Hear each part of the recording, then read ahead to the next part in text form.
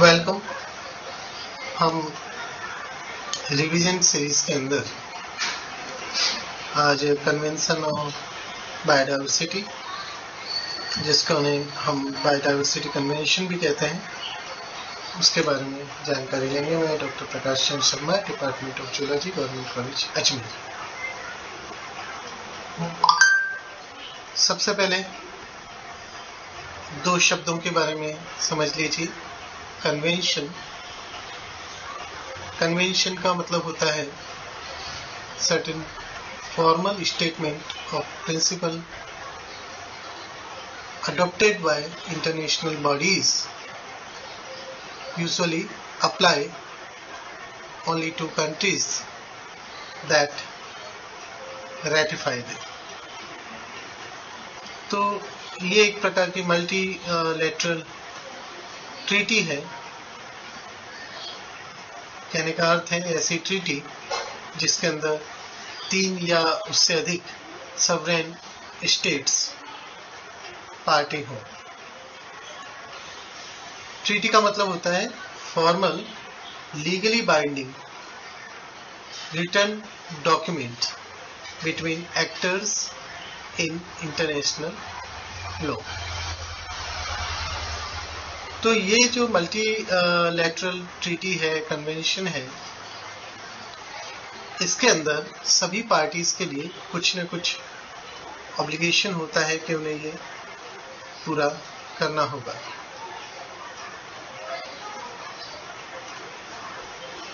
Bilateral treaties दो parties के बीच में होती है मल्टीलेटरल दो तीन से अधिक।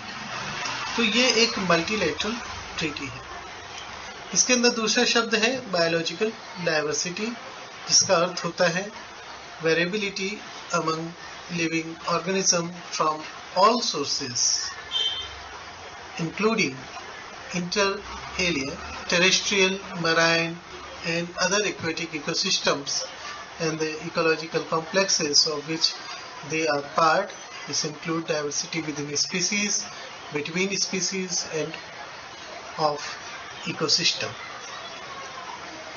तो बायोडाइवर्सिटी जो है is a biological diversity biological variety and variability of life biodiversity is a measure of variation at genetic, species or ecosystem level.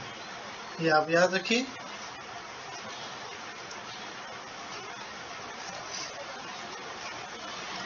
United Nations ने जो बायोडाइवर्सिटी की डेफिनेशन दे रखी है।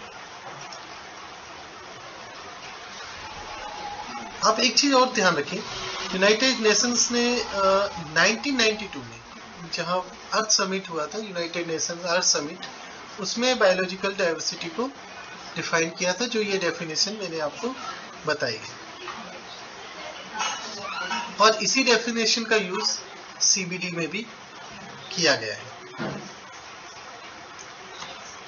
तो यहाँ दोनों शब्दों का आप अर्थ समझ गए सबसे पहले अगर हम बात करें सीबीटी की स्थापना यूँ ही नहीं हुई, इसके पीछे जो कारण रहा है, उसके बारे में हम बात करें तो United Nation environment programme UNEP उन्होंने एक ad hoc working group of expert on biological diversity November 1988 में उसको गठित कन्वीन किया और इस एडोक वर्किंग ग्रुप ने ये पाया कि जो बायोलॉजिकल डाइवर्सिटी है, ये एक ग्लोबल असेट है,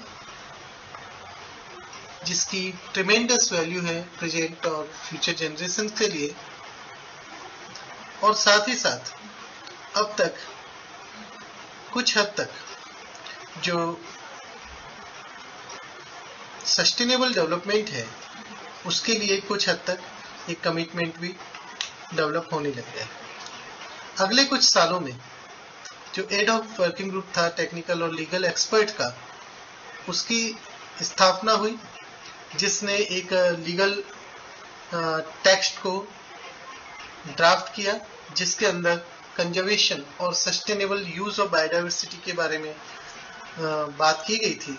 साथ ही साथ बेनिफिट शेयरिंग जो कि इन रिसोर्सेज के इस्तेमाल करने से आएगी, जिन्हें हम सवरेन स्टेट्स और लोकल कम्युनिटी के बीच में शेयर करेंगे, उसके बारे में भी इसमें चर्चा हुई तत्पश्चात उन्नीस सौ इक्यानवे में एक intergovernmental negotiation negotiating committee की स्थापना हुई जिसका कार्य था फाइनली इस, इस जो फाइनलाइज करना इस कन्वेंशन के टेक्स्ट को। तो तो जो ये लीगल और टेक्निकल एक्सपर्ट्स की कमेटी थी उसने क्या किया कि लीगल जो इंस्ट्रूमेंट है उसको प्रिपेयर करने का काम किया साथ ही साथ वे मीन्स निकालने की कोशिश की गई जिसके माध्यम से लोकल पीपल को सपोर्ट किया जा सके फाइनली फरवरी उन्नीस में एड ऑफ़ वर्किंग ग्रुप जो है, उसमें इंटर गवर्नमेंटल निगोशिएटिंग कमेटी की स्थापना इसके बाद एक कॉन्फ्रेंस का आयोजन, ताकि एग्रीड टेक्स्ट का जो कन्वेंशन ऑफ़ सीबीडी है, उसके एग्रीड टेक्स्ट टेक्स्ट का अडोप्शन किया जा सके। इसलिए कन्वेंशन का आयोजन नेरोबी केनिया में 22 मई उन्नीस सौ बानवे को किया गया, जिसे हम नेरोबी फाइनल एक्ट कहते हैं। और ये जो नेरोबी कॉन्फ्रेंस हुई थी, इसके अंदर इसको फाइनलाइज कर लिया गया। इसके बाद जो कन्वेंशन का टेक्स्ट था, उसे 5 जून उन्नीस सौ बानवे को साइन करने के लिए रखा गया। UN conference on environment and development जिसको हम रियो समिट कहते हैं या रियो अर्थ समिट कहते हैं, उसमें।